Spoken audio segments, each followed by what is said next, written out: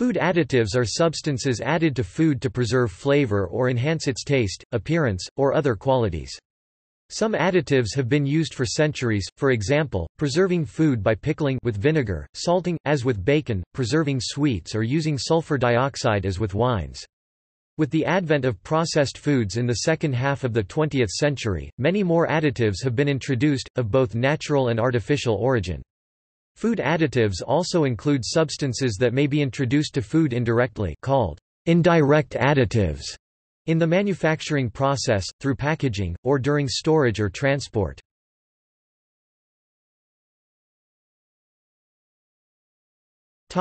Numbering To regulate these additives, and inform consumers, each additive is assigned a unique number, termed as E-numbers, which is used in Europe for all approved additives. This numbering scheme has now been adopted and extended by the Codex Alimentarius Commission to internationally identify all additives, regardless of whether they are approved for use. E-numbers are all prefixed by E, but countries outside Europe use only the number, whether the additive is approved in Europe or not. For example, acetic acid is written as E260 on products sold in Europe, but is simply known as additive 260 in some countries. Additive 103, alkannin, is not approved for use in Europe so does not have an E number, although it is approved for use in Australia and New Zealand. Since 1987, Australia has had an approved system of labelling for additives in packaged foods. Each food additive has to be named or numbered. The numbers are the same as in Europe, but without the prefix E. The United States Food and Drug Administration FDA lists these items as generally recognized as safe. GRAS, they are listed under both their Chemical Abstract Service Number and FDA regulation under the United States Code of Federal Regulations. See List of food additives for a complete list of all the names.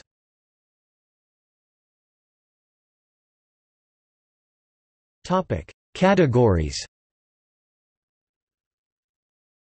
Food additives can be divided into several groups, although there is some overlap because some additives exert more than one effect.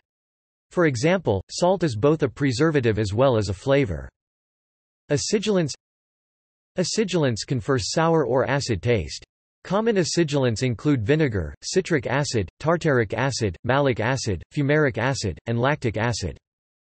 Acidity regulators Acidity regulators are used for controlling the pH of foods for stability or to affect activity of enzymes.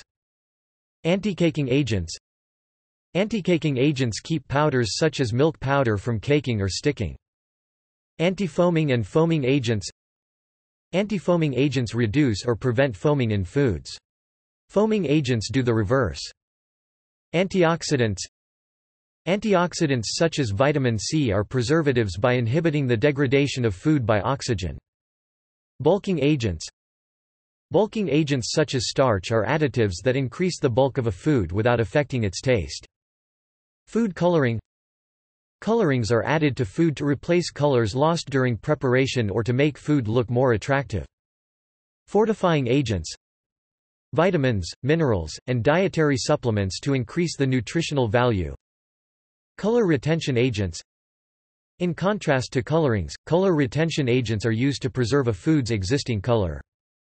Emulsifiers Emulsifiers allow water and oils to remain mixed together in an emulsion, as in mayonnaise, ice cream, and homogenized milk. Flavors Flavors are additives that give food a particular taste or smell, and may be derived from natural ingredients or created artificially. Flavor enhancers Flavor enhancers enhance a food's existing flavors. A popular example is monosodium glutamate. Some flavor enhancers have their own flavors that are independent of the food. Flour treatment agents Flour treatment agents are added to flour to improve its color or its use in baking. Glazing agents Glazing agents provide a shiny appearance or protective coating to foods. Humectants Humectants prevent foods from drying out.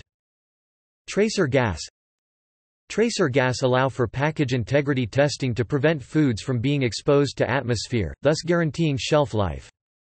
Preservatives Preservatives prevent or inhibit spoilage of food due to fungi, bacteria and other microorganisms. Stabilizers Stabilizers, thickeners and gelling agents, like agar or pectin used in jam for example give foods a firmer texture. While they are not true emulsifiers, they help to stabilize emulsions. Sweeteners Sweeteners are added to foods for flavoring.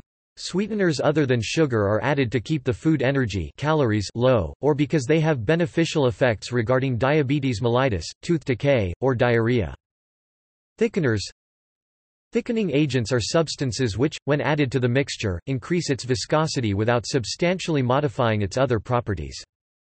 Packaging Bisphenols, phthalate, and perfluoroalkyl chemicals PFCs are indirect additives used in manufacturing or packaging.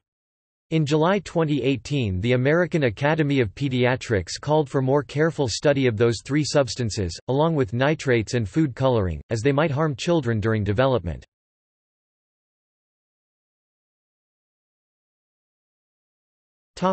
Safety and regulation With the increasing use of processed foods since the 19th century, food additives are more widely used.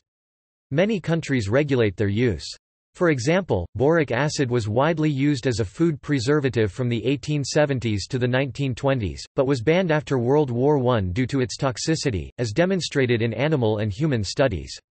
During World War II, the urgent need for cheap, available food preservatives led to it being used again, but it was finally banned in the 1950s. Such cases led to a general mistrust of food additives, and an application of the precautionary principle led to the conclusion that only additives that are known to be safe should be used in foods. In the United States, this led to the adoption of the Delaney Clause, an amendment to the Federal Food, Drug, and Cosmetic Act of 1938, stating that no carcinogenic substances may be used as food additives. However, after the banning of cyclamates in the United States and Britain in 1969, saccharin, the only remaining legal artificial sweetener at the time, was found to cause cancer in rats. Widespread public outcry in the United States, partly communicated to Congress by postage-paid postcards supplied in the packaging of sweetened soft drinks, led to the retention of saccharin, despite its violation of the Delaney Clause. However, in 2000, saccharin was found to be carcinogenic in rats due only to their unique urine chemistry.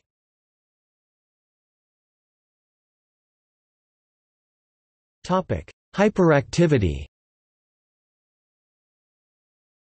Periodically, concerns have been expressed about a linkage between additives and hyperactivity, however no clear evidence of ADHD was provided. In 2007, Food Standards Australia New Zealand published an official shopper's guidance with which the concerns of food additives and their labelling are mediated.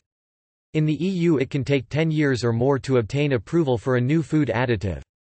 This includes five years of safety testing, followed by two years for evaluation by the European Food Safety Authority and another three years before the additive receives an EU-wide approval for use in every country in the European Union.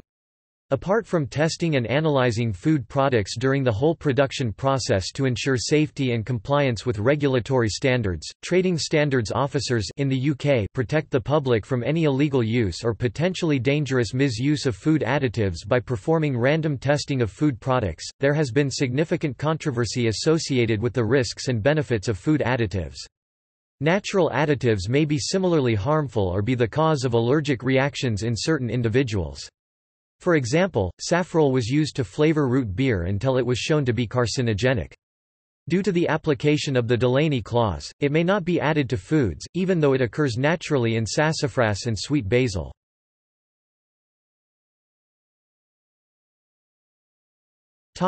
Micronutrients A subset of food additives, micronutrients added in food fortification processes preserve nutrient value by providing vitamins and minerals to foods such as flour, cereal, margarine and milk which normally would not retain such high levels. Preservatives also reduce spoilage from sources such as air, bacteria, fungi, and yeast.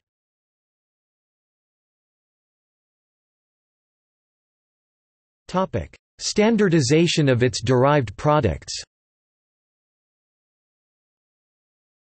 ISO has published a series of standards regarding the topic and these standards are covered by ICS 67.220.